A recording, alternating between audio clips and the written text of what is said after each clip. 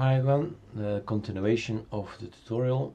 So first we installed some of these scripts like this one, that one, that one, that one, that one. Skip this one. And now we're off to the personal folder. So we're gonna open this one. And this is really personal. So you just analyze what you want and don't want. But in order to have a quick up and running system that's uh, set up the way I want of course I install these kind of things. So 600 installing the personal settings folder is going to check if a folder exists. If it does not exist I'm gonna make it. It's gonna check if a folder exists. If it does not exist I'm gonna make it. And it goes on like that why? Ah, because I want to copy paste my personal folders to it, of files. So now, you know, visually nothing happened, but a lot of directories have been created. And we're gonna go on and say, next step is the personal settings bookmark. So every time I come to an, uh, a distro, I would like to have my same bookmarks. And a bookmark is what's on the side here. Let's show it. When I come here, I want to have my data folder, which is my Antergos XFCE4. InSync is not yet installed, my icons, my icons, my themes, my themes, and so on. So a lot of things are now just one click away, and that's how I want it. Okay. Okay. Then back to data personal so we ran this one and this one.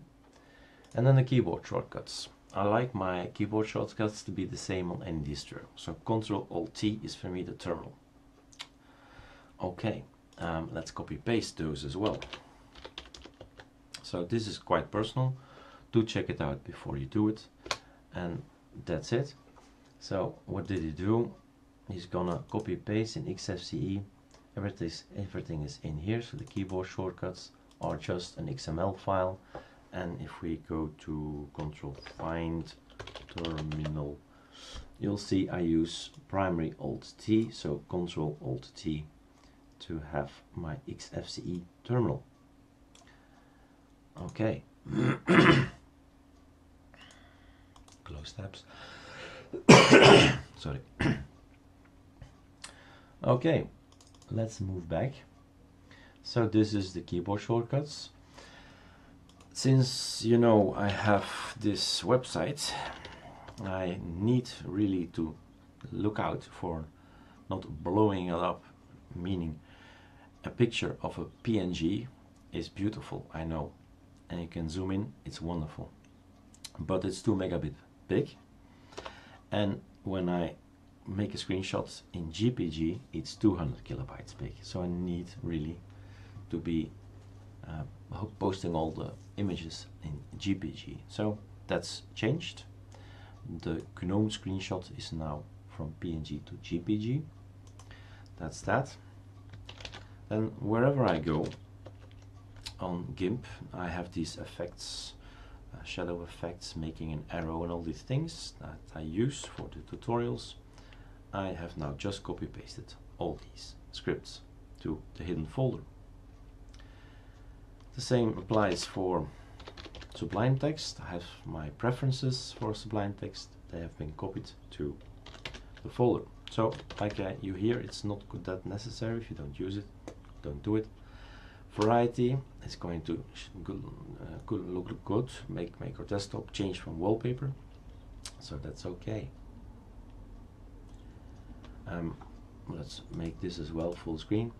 Forgot to do that, sorry and then um, next up 630 so 635 uh-huh. So these are all the arc themes we've made. So github um, arc git the arc github from horst 3180 supplies us with a template.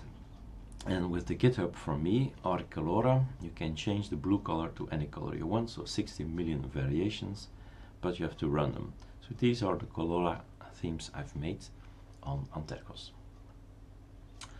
That's that. 640 no we don't have it and here I'm ending meaning uh, 680 is Compton 685 is Compiz uh, these are uh, special kind of uh, things and uh, is maybe necessary to make that in another tutorial but um, the 690 might be interesting but I believe the 690 is all hashtags so I'm not copy pasting anything over so we don't need to run it. 700 I need to run it but Firefox should be started first. I don't know if I did it so I'm doing it now. So there you go. Firefox has created now a hidden folder and let's run it and check out the hidden folder. Voila. You run it and here you have here the config or is it not a config? Control H. We should go to the Mozilla straight away. Firefox default. It's this thing that should be created and this this thing here in front is always different. But I can say put it to this folder put this folder inside uh, this specific folder anything with a default at the end. So that's been created. That's because of the dark themes I like and these dark themes they tend to screw up my input boxes so I can't read it. So now that's fixed. That concludes our personal installation why I do it and what it is and now we're gonna make our system more beautiful